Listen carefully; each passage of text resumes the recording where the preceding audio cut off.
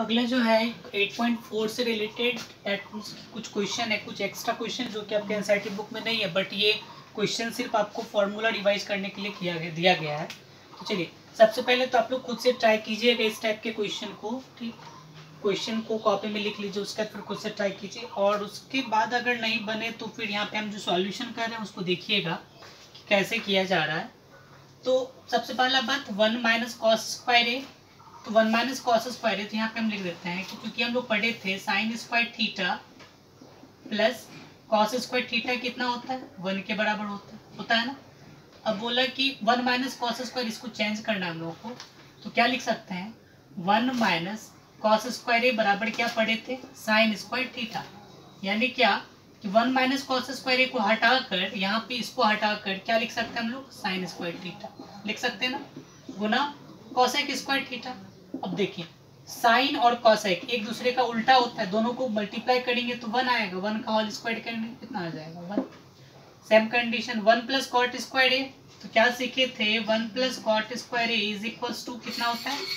Cosec square होता है ना? तो ये फॉर्मूला था हम लोगों का, इसको हटा दिए यहाँ से, और ये चीज़ जो है किसके बराबर था? कॉसेक स्क्वायर ए के बराबर। फॉर्मूला याद रखिए तो बनेगा फॉर्मूला याद नहीं है तो फिर नहीं होगा। ठीक?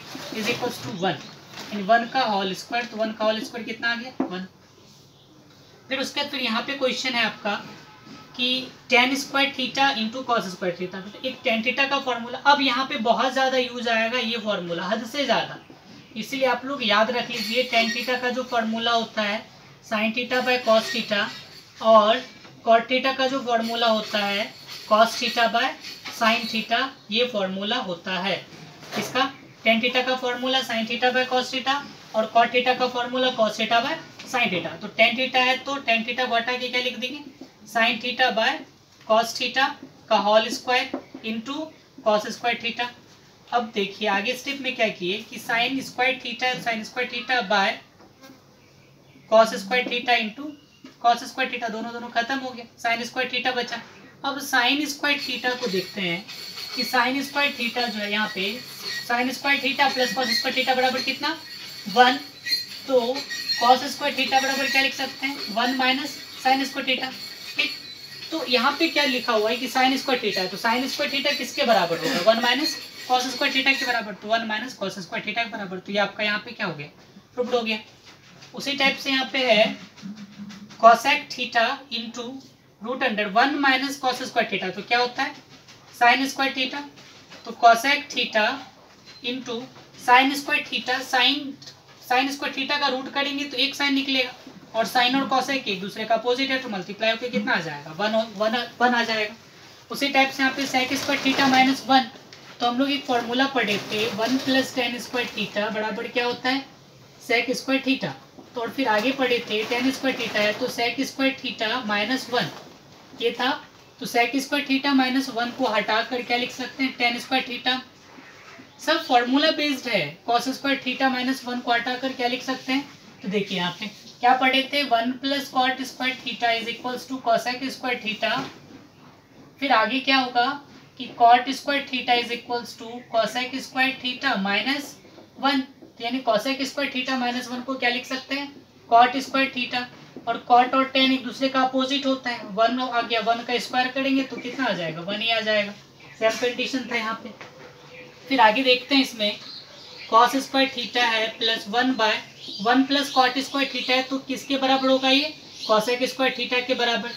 अब देखिए कॉट कॉस स्क्वायर थीटा है प्लस अब one by one minus sine square theta one by cosec square theta है तो one by cosec square theta cosec square को उल्टा दिया गया। कॉसेक स्क्वायर को कॉसेक स्क्वायर कॉसेक थीटा था, इसको पलट दिए। इसके नीचे कुछ लिखवन तो इसको पलट दिए तो ये किसके बराबर होगा? तो ये किसके बराबर होगा? साइन थीटा के बराबर होगा।